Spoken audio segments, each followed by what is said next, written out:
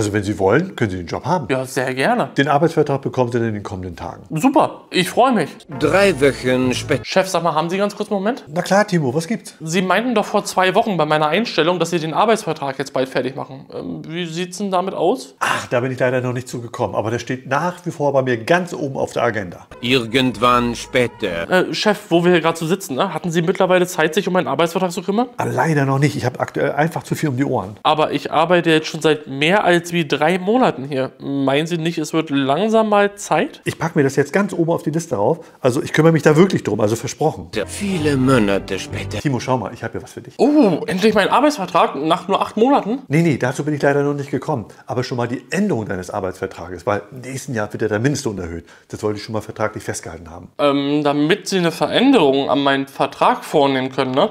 Braucht es dafür nicht überhaupt erstmal einen Vertrag? Ach, das sehen wir nicht so streng, was das angeht. Aha, was Sie nicht sagen.